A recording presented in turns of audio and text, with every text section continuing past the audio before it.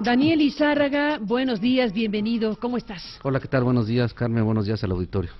Pues tenemos frente a nosotros y para informarle a nuestro auditorio esta investigación eh, que hemos iniciado con eh, el equipo de trabajo eh, de investigaciones especiales de este noticiero que nos conduce, como hemos dicho, a este contrato con la Comisión Federal de Electricidad por 120 millones de dólares y al acceso que has tenido junto con Luis León y con Irving Huerta a los documentos que ha liberado la Corte Federal del Paso, Texas, sobre este personaje llamado Marco Delgado que bueno pues tuvo una, sostuvo una relación personal con la ex esposa de Vicente Fox, con Lilian de la Concha, que a su vez bueno pues eh, ahora está involucrada en esta situación tan delicada que ella misma tendrá que enfrentar de alguna manera.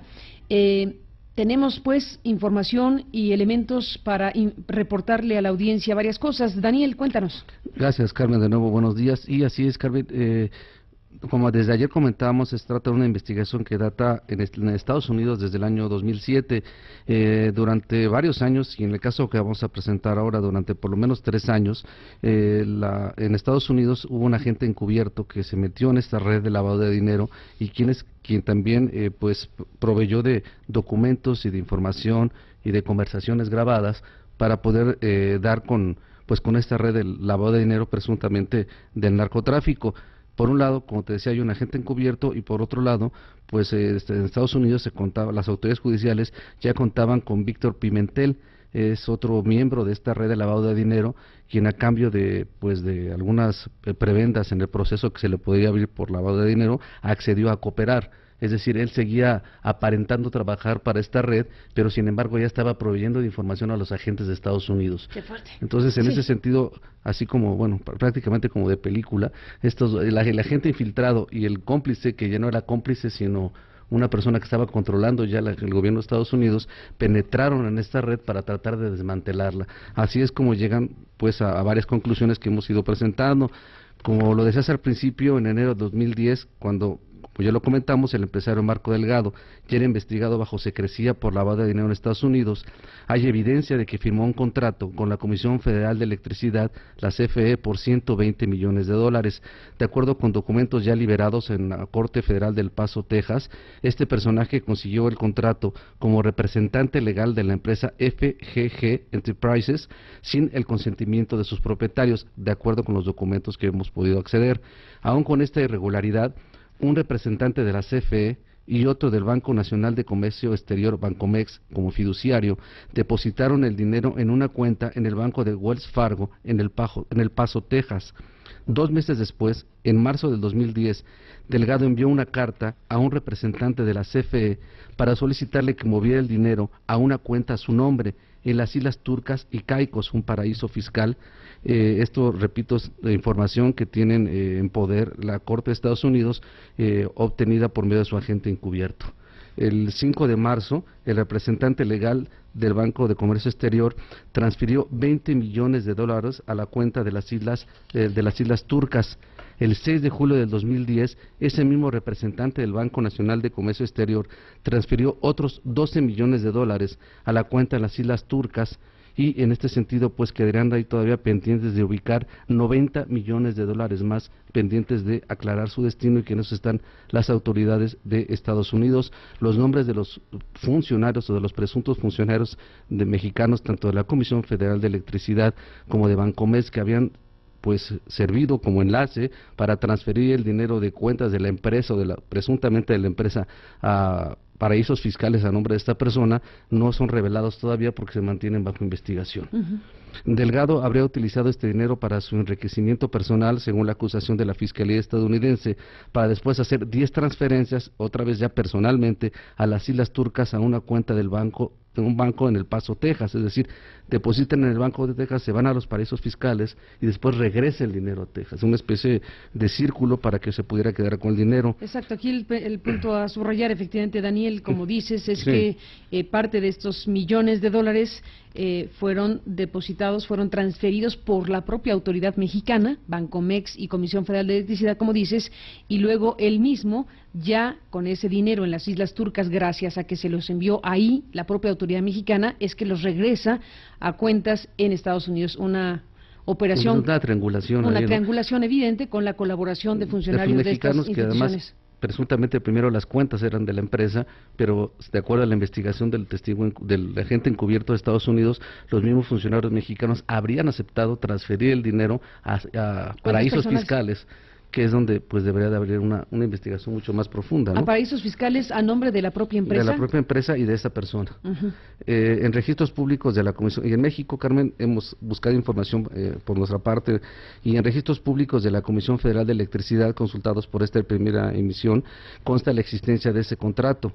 De hecho, se trata de una licitación pública internacional para la adquisición y mantenimiento de turbogeneradores de gas y adquisición eh, de generadores de vapor con el número 181640067-012 diagonal 2009.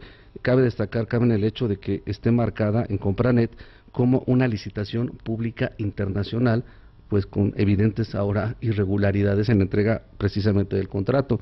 En esta licitación internacional, participaron empresas muy conocidas a las que esta empresa que acabamos de mencionar las venció.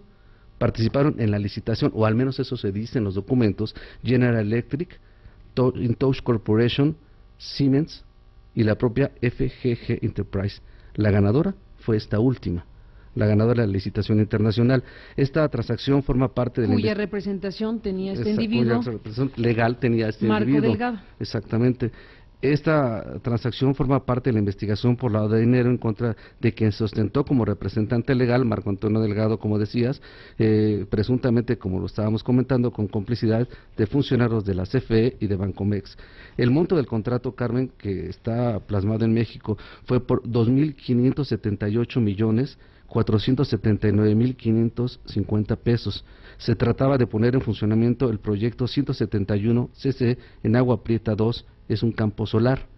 El pasado 2 de abril, y encontramos un registro hemerográfico en este sentido, el nuevo secretario de Energía, Pedro Joaquín Codwell, instruyó al área jurídica de la CFE para resolver el litigio contra la empresa que acabamos de mencionar por un incumplimiento de contrato toda vez que las turbinas nunca fueron entregadas mm. y a pesar de que se dio un adelanto de 32 millones de dólares. Es decir, aquí coincide pues este desfalco que ha detectado la autoridad mexicana de 32 millones de dólares de un adelanto con el dinero que movieron en Estados Unidos a las cuentas de los paraísos fiscales. Efectivamente cuadran ahí las cifras de los 32 millones de dólares, aunque el contrato parece que fue mucho mayor. Habría que investigar todavía no el destino de 90 millones de dólares si es que salieron de las arcas. Lo que se tiene detectado es un movimiento de 32 millones de dólares. Lo interesante de esto, Carmen, es que de acuerdo a la información que hay en México... dame un segundo. Eh, lo que está totalmente claro es que sí hubo transferencia de recursos por 32 millones de dólares de un contrato mayor. Eso sí está totalmente confirmado. Sí. Podría ser que se hayan hecho más transferencias, pero no están reveladas en los documentos que dieron eh, desclasificados, los que liberó la Corte de los Estados Unidos, a los que tuvimos acceso a través de esta revisión. Eh, y esto se referiría a el contrato de la Comisión Federal de Electricidad por 120 millones de dólares. Sin embargo, hay referencias ya ubicadas por Noticias MBS sobre cantidades mayores. Así es. Hablas de 2.500 millones, de, millones pesos. de pesos en algún momento de esta investigación. Así que estamos hablando de cantidades, por lo pronto, que están identificadas en estas licitaciones y en estos eh, documentos revisados en México por nosotros y en Estados Unidos revisados por ustedes también, liderados por la Corte de los Estados Unidos. Así que estamos hablando de cantidades millonarias y en el conjunto de informaciones, por lo pronto, lo que sí es segurísimo es que de todas estas cifras hay una serie de transferencias por 32 millones de dólares que habrían sido enviados a las cuentas en paraísos fiscales gracias a la colaboración de la Comisión Federal de Electricidad y Bancomex a este individuo que se lo solicitó. Así Ese es el punto donde Ese es el punto nodal. Además, eh, un, aspecto interesante ahora que lo mencionas, Carmen, es que eh, de acuerdo a los registros de la Corte en Estados Unidos, eh, todo esto hubiera sido una operación del personaje que está detenido, del lavador de dinero presuntamente del narcotráfico, del señor Marco Delgado, y de alguna manera deslindan a la empresa, dicen que lo hizo sin el consentimiento de la empresa. Eso dice la Corte en Estados Unidos.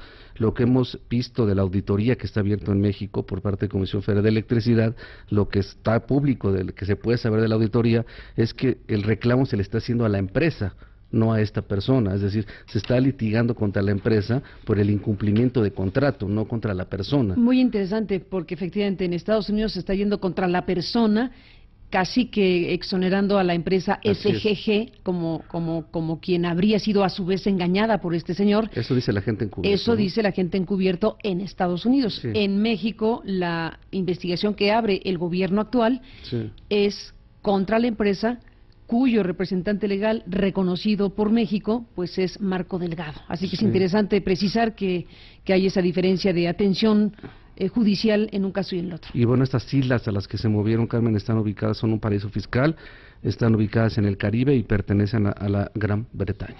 Daniel, déjame hacer una pausa y regresamos para concluir esta investigación y tu exposición al respecto. Y seguimos escuchando tu investigación. para concluir esto, como tú lo decías, eh, la forma en que penetró Marco Delgado en las altas esferas de la política mexicana, pues fue por precisamente el los contactos que les facilitó Lilian de la Concha. Eh, esto voy a tomar un párrafo de la entrevista que le hizo el compañero Alberto Tavira para que veamos cómo está relacionado íntimamente con todo lo que acabamos de comentar de la Comisión Federal de Electricidad y cito textualmente a Alberto. Acto seguido, entrevista, entrevista publicada en Animal Político, ¿2007? En, noviembre del 2012. perdón, 2012. Sí, dice, acto seguido, el amigo de Lilian le pidió ayuda para que le consiguiera una cita en la Comisión Federal de Electricidad, con el fin de que pudiera meter a licitación los servicios de generación de energía de, de una empresa de, de una empresa del Paso, Texas, donde Delgado aseguraba trabajar como asesor comillas, yo siempre he estado correteando el bolillo Toda la vida he trabajado y lo he hecho de manera decente, así que debido a que no había nada choco en esto, conseguí la cita. Dice Lilian, al periodista Tavida. Y en el caso de que se concretara el proyecto, me ganaría una comisión. Dice Lilian, y finalmente la propia Lilian comenta y enfatiza, eso no se hizo, la licitación no se realizó. Tenemos evidencias, pues, tanto por nuestro rastreo de nuestra parte en el sistema Compranet, con los detalles que acabamos de aportar y justo con los documentos que son públicos de la Corte de Texas, pues que por todo lo, a todo lo contrario de lo que dice Liliana en esta entrevista, la licitación sí se hizo y hay por lo menos 32 millones de dólares de recursos públicos que están desaparecidos.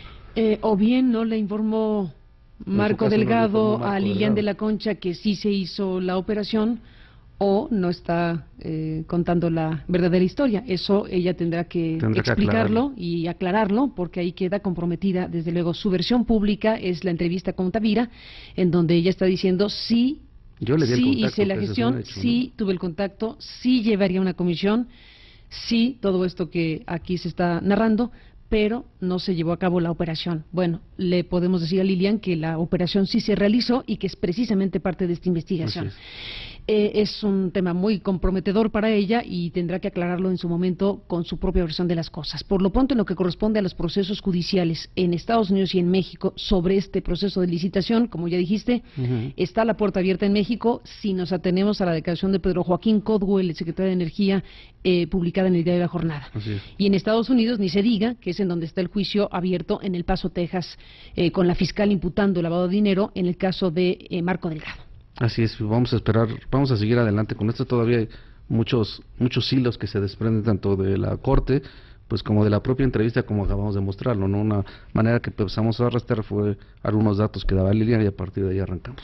Exactamente, pues ahí está esta investigación en curso que nos eh, lleva a lo que se pudo haber realizado a través de eh, gestiones y, e intervenciones eh, para abrir puertas de alto nivel digámoslo así, y en este caso conseguir eh, contrato con la Comisión Federal de Electricidad, más otras cosas que eventualmente van saliendo, van a ir saliendo en el camino, porque en Estados Unidos, exactamente, en Estados Unidos no solamente están aludiendo al contrato con la Comisión Federal de Electricidad, sino están aludiendo a una cantidad de 600 millones de dólares que, según la fiscal que acusa a, Marco Delgado, habría lavado Marco Delgado para el cártel de, de los Valencia, eh, eh, el cártel del Milenio en Guadalajara.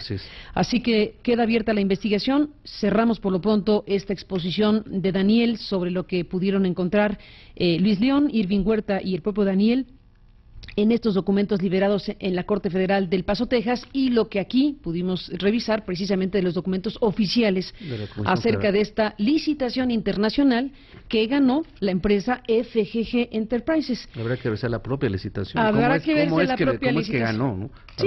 Y si efectivamente esa empresa fue representada por Marco Delgado sin que supiera la empresa, lo cual sería todavía más grave. Bueno, todo es grave.